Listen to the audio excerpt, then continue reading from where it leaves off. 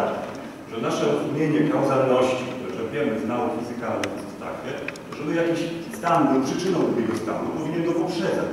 Tak?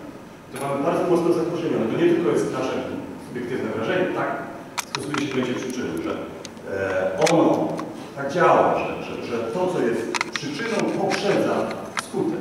W tej sytuacji trudno nam jest pojąć, jak to możliwe, że nasze świadome zechcenie czegoś nie może być potraktowane jako tego rodzaju przyczyny, bo to świadome zechcenie tak, pojawia się po e, impulsie, który faktycznie decyduje o tym, co... I tu jest, tu jest ten zasadniczy problem. Dla mnie ten problem jest problemem kauzalności, problemem przyczynowości, o którym dzisiaj będę mówił. Wydaje mi się, że ta perspektywa, którą tu przedstawię, jest jakąś próbą, gdzieś na horyzoncie pojawia się rozwiązanie ewentualne tego problemu.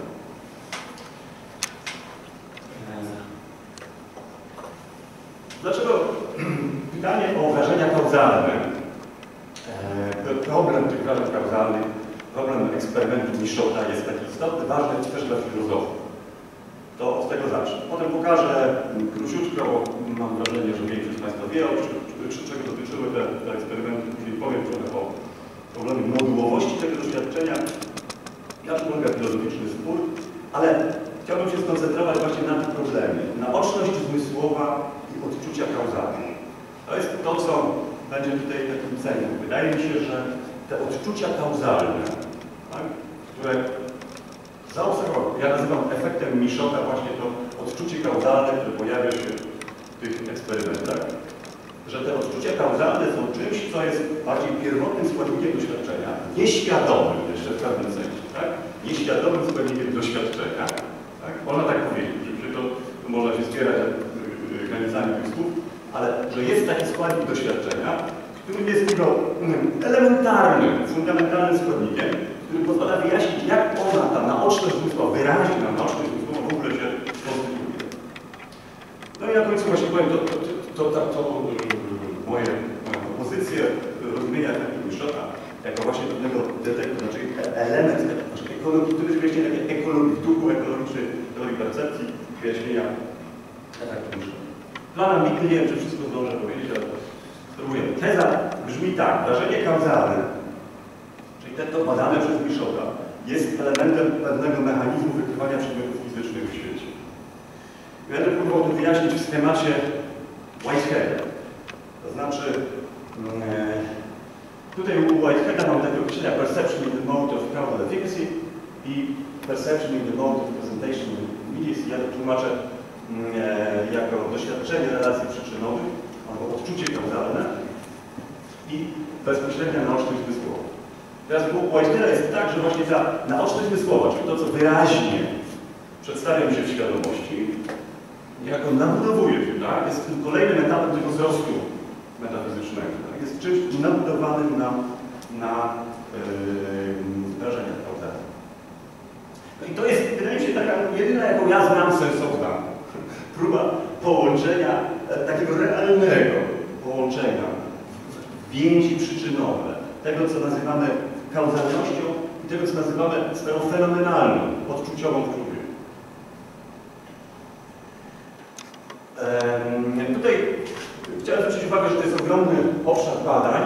Tutaj też na pewno wieloznaczność. Używa się tych określeń takich jak perception of causality, perception of causation, causal perception, perception of causality.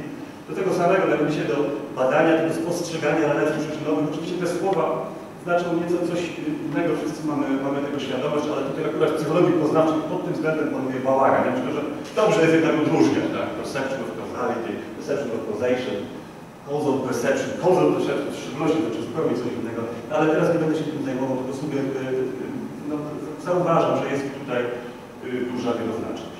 Na czym polegają eksperymenty Miszota? Ten kluczowy to jest ten e, launching, eksperyment z launching, wybijanie. Na tym polega wybijanie.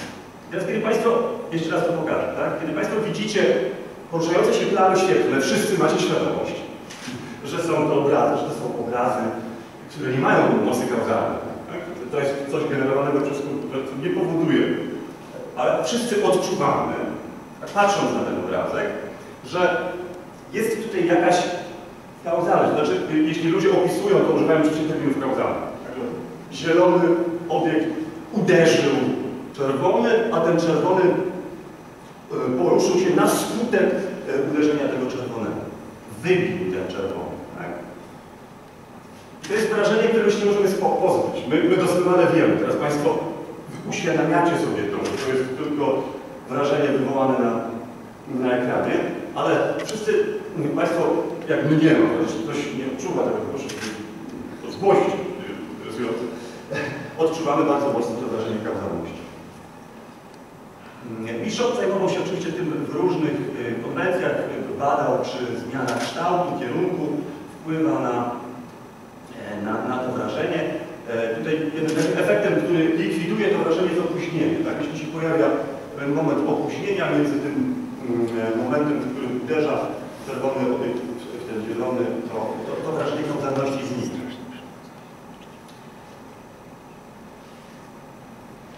Tutaj, proszę Państwa, to jest dzisiaj ogromny obszar badań. Tysiące artykułów na ten temat powstają.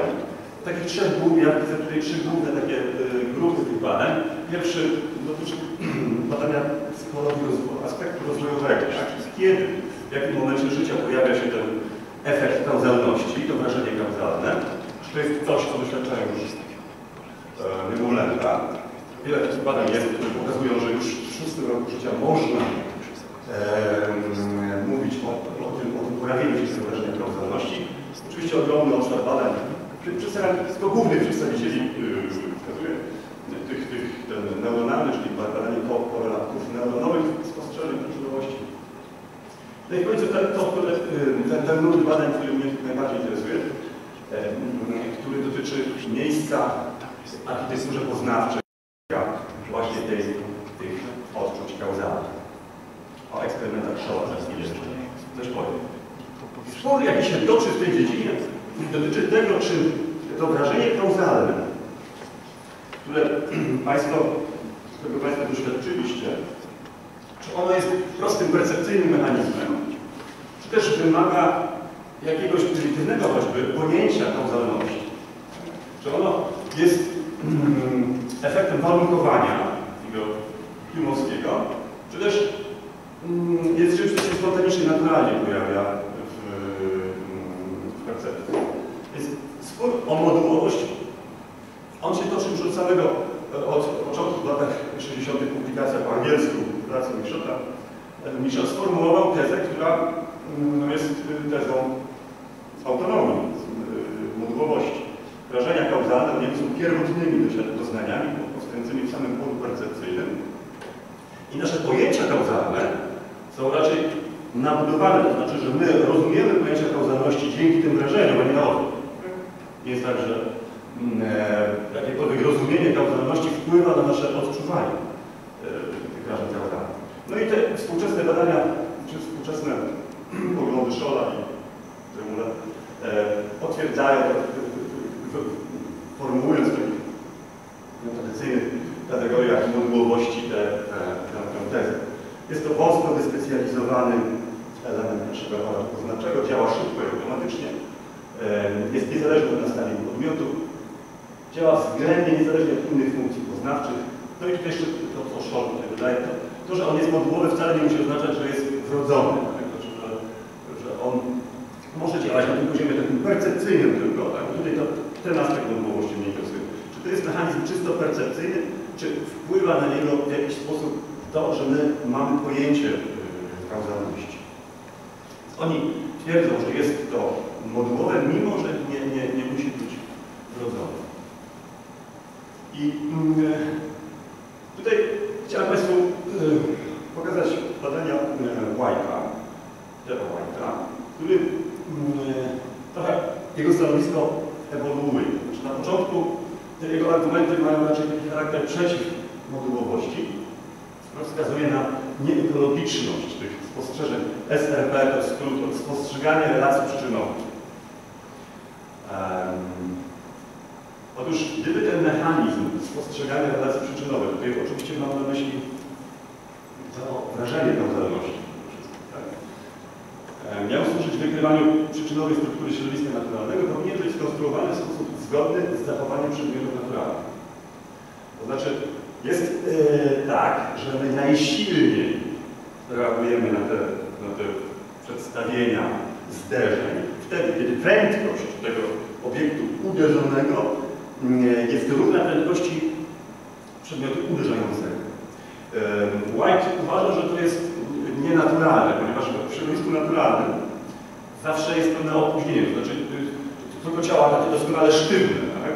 zachowują się w ten sposób, że kiedy się zderzają, to prędkość tego mm, uderzonego jest równa prędkości uderzającego. Natomiast normalnie w środowisku naturalnym powinno być inaczej. Więc on uważa, że tego typu rozważania mm, wskazują, że to jest jakiś, jakiś innego rodzaju mm, mechanizm. On tutaj sugeruje, że być może właśnie jakieś takie prymitywne pojęcie przyczynowości, które on tutaj na tym etapie jeszcze pojmuje jako takie dziedziczenie własności. Tak? Że my takim, takim pojęciem przyczynowości się tutaj e, posługujemy i my przenosimy z tego uderzającego na ten uderzany własność prędkości i wtedy właśnie w tej, dlatego właśnie w tej sytuacji najsilniej możemy. No ja uważam, że, że te, te argumenty są błędne, dlatego że mm, jeśli to, to wrażenie kauzalne jest jakimś elementem naszego charakteru poznawczego, który ma być nam potrzebny w środowisku naturalnym, to on powinien tak działać, by najsilniej reagować wtedy, kiedy przedmioty, które obserwujemy, są najbardziej potencjalnie niebezpieczne. Najsilniej potencjalnie mogą uderzyć, są najbardziej aktywne kauzalnie. Że to, że reagujemy najsilniej w takich, w takich sytuacjach jest, jest, wydaje mi się, naturalne. Byłoby byłoby, o tym kolejnym slajdzie to piszę dalej, byłoby e, tak jak sugeruje White, gdyby, gdyby mechanizm powstawania tego wrażenia kauzalnego był klimowski. To znaczy, że gdyby we mnie się pojawiało to wrażenie z kauzalności właśnie na skutek obserwacji naturalnych sytuacji. Tak? A on jest e, bardziej fundamentalny. Znaczy wrażenie kauzalne jest pojawia się wcześniej, zanim jeszcze ja nauczę się wyciągać wnioski z powtarzających się doświadczeń. Ehm, więc White rzeczywiście idzie w trochę innym kierunku w tych swoich ostatnich, w tych późniejszych pracach i y, zasugerował, że to wrażenie kauzalne powstaje na skutek tego rzutowania ehm, mojego doświadczenia sprawstwa i mojego doświadczenia oporu, jakie stawiają przedmioty, na przedmioty zewnętrzne. Tak? tak? Potwierdzenie tego jest takie wykładanie neuronami lustrzanymi, że one rzeczywiście w tych sytuacjach się nieco ujawniają, tak? czy uaktywniają. Więc jest pewne empiryczne potwierdzenie tej tezy, że mamy do czynienia z takim rzutowaniem tej naszej, naszego poczucia sprawstwa na tą sytuację percepcyjną. No to jest zgodne z takim właśnie Gibsonowskim podejściem, gdzie mamy do z tym systemem haptycznym, tak, dotykowo-wrażeniowym, który pozwala nam um, rozumieć otoczenie. E, bardzo dobrze jest, aby uświadomić sobie różnicę między rozumieniem przyczynowości a percepcją przyczynowości, przyczynowości odwołać do pewnych badań empirycznych w dziedzinie, w dziedzinie poznania zwierząt. Otóż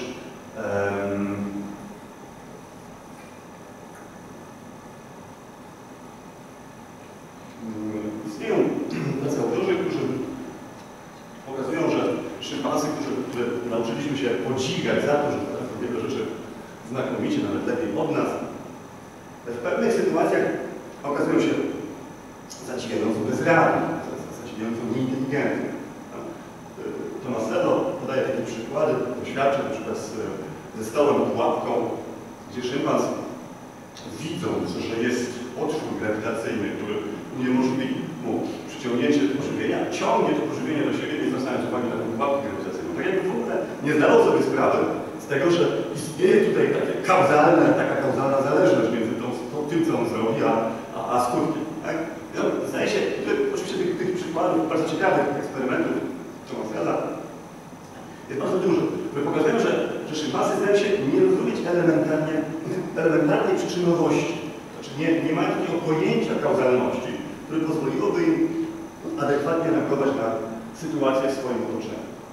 Natomiast wydaje się, że istnieje, i to mocno ugruntowane empirycznie, fakt, że, że szympansy posiadają, nie tylko szympansy, posiadają y, y, inne zwierzęta wyższe również, posiadają y, to spostrzeganie relacji przyczynowych, czyli to, to, to, to, to, to wrażenie kauzalne. Tak? Na przykład w eksperymencie Pola bezbłędnie szympansy odgadują, w którym kubku znajduje się pożywienie poprzez potrząsanie, czyli skutek, jaki wywołuje, jaki wywołuje ten akustyczny skutek, jaki wywołuje orzech, tak, jest yy, błyskawicznie interpretowany jako, jako yy, dowód na istnienie tego pożywienia. Więc, ale, ale tutaj nie, nie, nie, nie ma jakiegoś pośredniego rozumowania kauzalnego. Wydaje się, że one bezpośrednio e, czują tak, obecność tego, tego przedmiotu poprzez rejestrację tych, tych, e, tych wyrażeń kauzalnych, tak, czyli tego, tego dźwiękowego, w tym przypadku akustycznego sygnału. E, no i to, to, to, to zasadnicza część mojej, mojej argumentacji. Wiąże się z tym takim, jak to Whitehead nazywa, neolitycznym narzędziem współczesnej filozofii.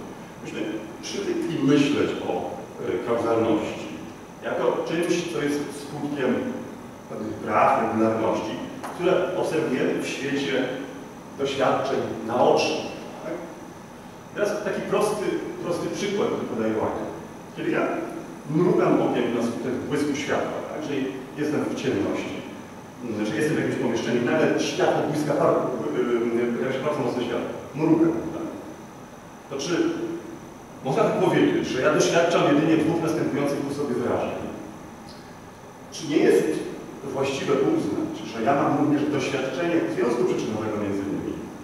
Bo właśnie mówi tak, to jest chyba prawda, że ja, gdybym pozostał, pozostawił te wrażenia tak niepowiązane, to czy ta szybkość następowania po pewnym czasie nie, nie, nie sprawiłaby, że ja miałbym wątpliwości, co było pierwsze. Czy mrugnięcie, czy błysk. Natomiast jeśli jest to poczucie kauzalności, to nie mam nigdy takiej wątpliwości. Tak? Wiem, że najpierw musiał być dlatego właśnie, że mam to bardzo silne poczucie związku przyczynowego między tym silnym światłem a, e, a moim mrugnięciem. I, i mówi tak, to jest oczywiste dla każdego, kto fizjologicznie to interpretuje. No bo my mamy, doskonale wiemy, jak to działa, tak? Wstępujące i wstępujące e, neuronowe bodźce, tak?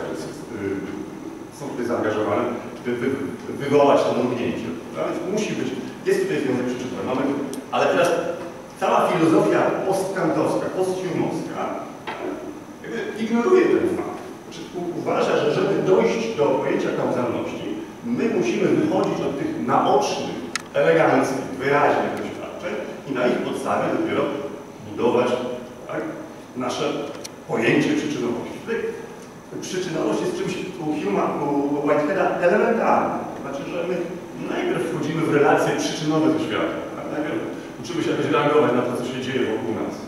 Jest mama, nie ma mamy, jest światło, nie ma światła, jest e, ciało jest pośrednikiem, prawda? To pan, pan e, o tym mówił, o tym, że ciało jest pośrednikiem, ale ono jest też tym miejscem, w którym my doświadczamy kauzalności. E, I teraz tutaj próbowałem to tak uporządkować. Jakie są funkcje poznawcze odczuć kauzalnych?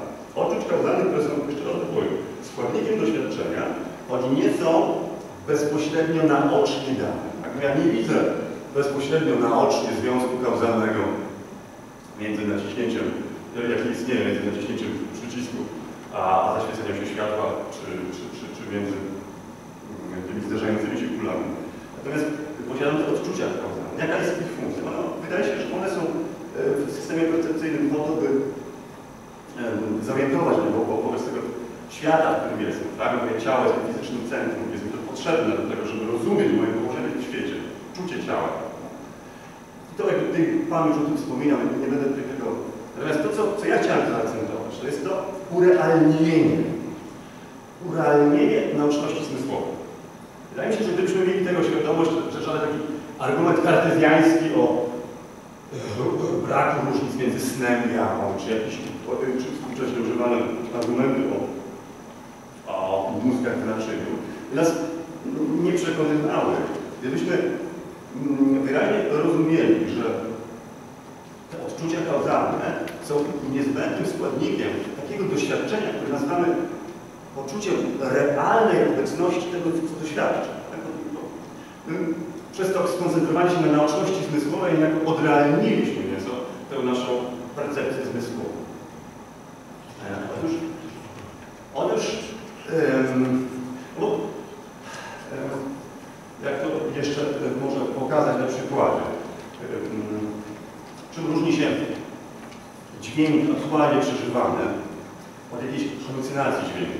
Czy różni się barwa aktualnie widziana od barwy wyobrażonej albo przyśnionej? Otóż właśnie tym, że tak jak, to, jak, jak mówią zwolennicy sensu motorycznej teorii percepcji, że te sytuacje nierealistyczne, one nie spełniają takich sensomotorycznych, zmysłowo-duchowych warunków, które e, są związane właśnie z naszym odczuciem ciała. Tak? Tych, tych, tych warunków e, bezpośredniego, e, czy, no może nawet pośredniego, ale, ale obecnego, potencjalnego związku przyczynowego z tym, co, e, z tym, co widzę.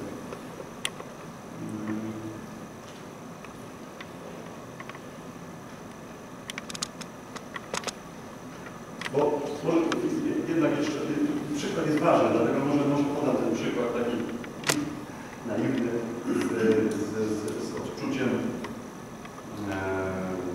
kamienia w nożu. Tak? Że ile, ile sobie w sandałach w pewnym momencie czuję, co mnie boli. Więc to, to pierwsze elementarne doświadczenie jeszcze nie jest uświadomione. Do, e, moment, w którym ja sobie je wyraźnie uświadamiam, tak? to jest moment właśnie pojawienia się tej naoczności zmysłowej. Bo ja mogę mieć naocznie dane również wrażenia dotykowe. Tak? To, to tutaj wymaga tylko pewnego e, mojego nastawienia. Ale to wrażenie bólu pojawia się znacznie wcześniej, zanim sobie to wyraźnie uświadomiłem, że to jest właśnie kamień. Tak? Czyli sygnałem, które ja sobie wyraźnie uświadamiam, jest obiektywizacja, zobiektywizowana. Kamień. W tym momencie wyraźnie sobie. Na tym pierwszym etapie czuję, że coś mnie boli. Tak? Więc mm, w eksperymencie Schola jest pewna eksperymentar Schola, która, mm, który sugeruje coś takiego, że nasze spostrzeganie się, ta bezpośrednia naoczność zmysłowa nie jest konstrukcją chwili, chwila po chwili, lecz wynikiem integrowania informacji w taki sposób, że nowa informacja może wpływać też na bezpośrednią przeszłość. Znaczy, że to, co ja przeżywam, tak, tym aktualnej, aktualnej naoczności zmysłowej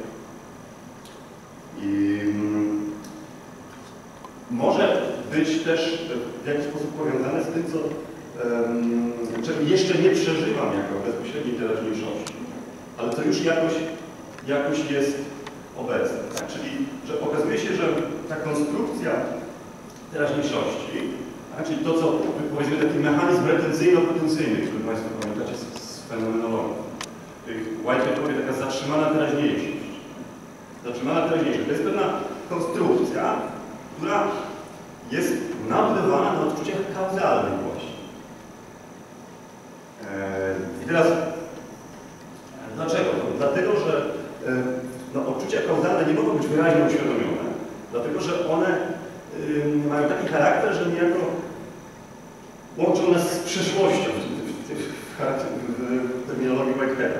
Teraźniejszość ta aktualna to jest coś, co mm, możemy mieć dalej tylko w tej bezpośredniej naoczności zmysłowej, faktyczne oddziaływania przyczynowe to są mm, oddziaływania pomiędzy przeszłością a teraźniejszością.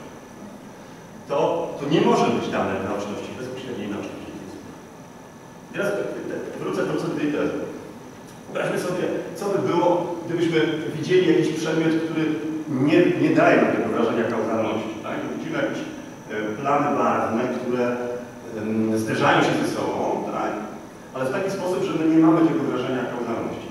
No to wtedy potraktowali sytuację jako taką, która nie jest kontaktem z realnym przedmiotem fizycznym, jakiegoś rodzaju iluzji. Tak? Jeśli ja jestem w lesie, gdzie, gdzie zagraża mi uderzenie gałęzi, gdzie może na mnie coś spaść, gdzie może uderzyć we mnie ptak, albo szukam jakiegoś owocu e, w, w gałążku leśnym, no to interesują mnie te przedmioty, które są jakoś potencjalnie kauzalnie, tak, są jakieś ścieżki przyczynowe powiązane ze mną. Więc jeśli nie ma tej, tej, tego efektu kauzalności, to ja taki przedmiot traktuję jako nierzeczywisty. A więc częścią tego em, konstytuowania się przeżycia jako realnego, rzeczywistego jest właśnie doświadczenie kauzalne. Stąd ta teza mm, e, doświadczenie mm, efekt Miszota jako detektor. fizycznego. Dziękuję bardzo. Bardzo dziękujemy.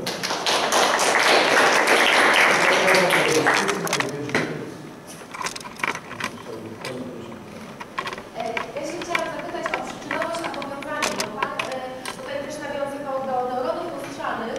E, Potem e, w którymś tam slajdzie mówiliśmy też o rozumieniu, prawda? Więc em, to jest pytanie, tak?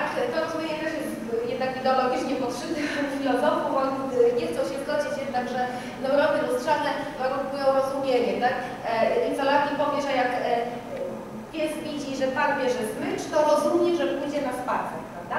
E, Ale jest, moje pytanie właśnie dotyczy ym, pe- pewnego pojmowania związków czy relacji w ogóle, tak? Czyli jakichś powiązań, a właśnie y, percepcji przyczynowości, tak? Bo przecież to, że ja biorę smycz nie jest przyczyną tego, że ten pies pójdzie na spacer, tak? Więc tutaj em, jakby o, o to objaśnienie terminologiczne tego, tak? Znaczy w takiej sytuacji, którą Pani opisała, pies bierze, biorę smycz, pies zaczyna entuzjastycznie Tak. reagować. Prawda? Wydaje się, że to się tak po chimosku daje wytłumaczyć, właśnie Ehm, czy, czy, czy jest w tym momencie jakoś jak bezpośrednio dostrzega ten moce kauzalne, które raczej nie. Tutaj w tej sytuacji to, to jest po prostu przyzwyczajenie. Właśnie to, to się da po chimosku wytłumaczyć. Ale mo, moją tezą było, czy, intencją było, żeby pokazać, że że są takie sytuacje, w których to humowskie tłumaczenie zupełnie nie zdaje egzaminu. Jak w przypadku tego rumnięcia, czy, czy właśnie takiego tego uczucia kauzalnego, z którego mamy do czynienia w tym, e, w tym eksperymencie Miszota. To są, to są sytuacje, w których bezpośrednio, e, bezpośrednio ujawnia, nam się coś takiego jak um, moc sprawcza, kauzalność. I to jest właśnie raczej tak, że my e, mamy pojęcie przyczynowości, jest zbudowane na podstawie tych odczuć kauzalnych, a nie na odwrót. Ja sobie też pozwolę o tych relacjach e, przyczynowości do świadomości, to znaczy do kwestii uświadomienia sobie tej przyczynowości, tak? W jakichś konkretnych aktach. Tam Pan wspominał też o tym, że kauzalność jest, y, pojawia się gdzieś tam około szóstego roku życia, tak? Znaczy, do, doświadczenia są takie, które już sześciomiesięcznych nie mogą, pokazują, oczywiście tu można zawsze metodologiczne mieć zastrzeżenia, ale one, one ich, autorzy ich uważają, że sześciomiesięczne niemowlęta e, odczucia kauzalne już posiadają. Dobrze, właśnie to, to jest jasne dla mnie, że takiego Pan redakcja mówił o sześcioletnich dzieciach, a jest właśnie szereg eksperymentów ze zna, znacznie młodszymi dziećmi i to tak jeszcze... To, A ja, to, a to może, może się przy, z Tobą przejęzyczać. okej.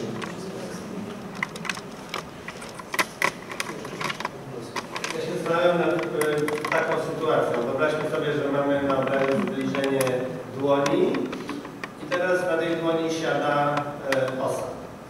I teraz mamy dwie sytuacje. W jednej sytuacji widzimy to żądło tej osy, które y, no właśnie się tam wpływa powiedzmy w tę dłoń, ale z dłonią nic się nie dzieje.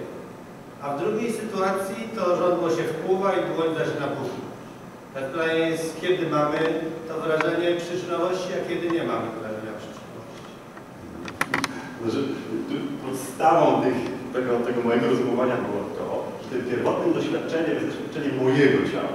Tak? Więc jeśli ja jestem w stanie się jakoś e, utożsamić z tą ręką, którą widzę, tak? to na pewno będę miał takie, e, przecież te eksperymenty z, ręką fantomową, prawda? Mniej więcej coś, coś podobnego tutaj pokazują, że ja mogę nawet fizycznie odczuwać tę rękę sztuczną, tę, tę, tę, tę, tę e, fantomową jako własną, prawda? Więc to, no myślę, że to od tego by zale- zależało.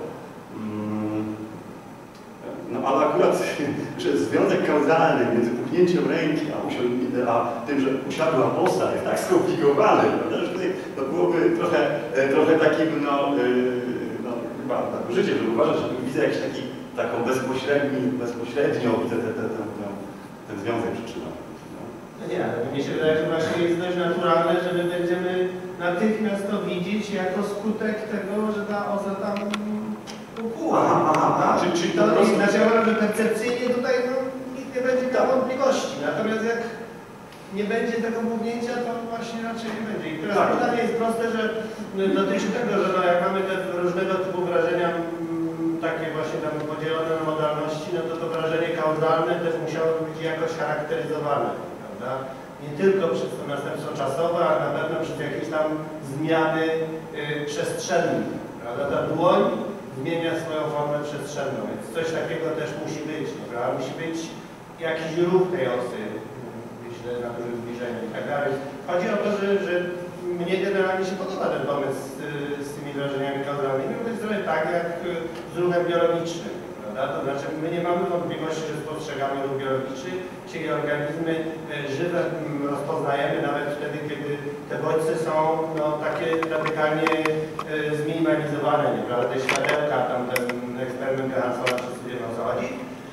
My tu jest analogicznie, to znaczy minimalne e, jakieś tam muszą być składniki, żebyśmy spostrzegli, no właśnie, że nastąpiła jakaś e, relacja przyczynowa. Pytanie jest, jakiego rodzaju te minimalne czynniki muszą Tak. nastąpić, żebyśmy to spostrzegli. Otóż to, o czym mówi, wydaje mi się, wiąże się z badaniem tego pojęcia przyczynowości, które jest już e, bardziej zaawansowanym tak, konstrukcją. My musimy mieć takie pojęcie, żeby funkcjonować w świecie tym naszym ludzkim. Tak? Natomiast nie musimy mieć zupełnie takiego, takiego, takiego mm, e, pojęcia, żeby funkcjonować w świecie biologicznym. Prawda? Że Chodzi o to, że, że coś takiego na tym poziomie biologicznym się pojawia. To właśnie jest autonomiczne, jest jakoś modułowe. Tak? I co, I co najprościej opisać właśnie jako bezpośrednio, e, spostrzeżenie takiej mocy kauzalnej, tak? czy kauzalności. Tutaj u Hugh, u Whiteheada to, to jest wszystko proste, bo u Whiteheada tym elementarnym składnikiem świata jest proste czucie fizyczne, czyli coś, co jest jednocześnie kauzalne jednocześnie czuciowe. Tak? To jest taki no, pan eksperymenc. Ja, ja wolę nie używać, wydaje mi się, że lepszym określeniem na tą, na tą Whiteheadowską wizję jest pan perspektywizm. Znaczy, że my mamy, e, nie mamy świata takiego gotowego, obiektywnego, zobiektywizowanego rzeczy przed sobą, tak? Tylko że właśnie ten świat się jakoś konstytuuje z takich prostych czuć, które są jednocześnie, powiedziałem, kauzalne i czuciowe. Tak? Że to jest, no to z mechaniką kwantową to się dość, dość zgrabnie komponuje, także myślę, że i psychologii poznawczej ma szansę się dobrze skomponować. Bardzo dziękuję.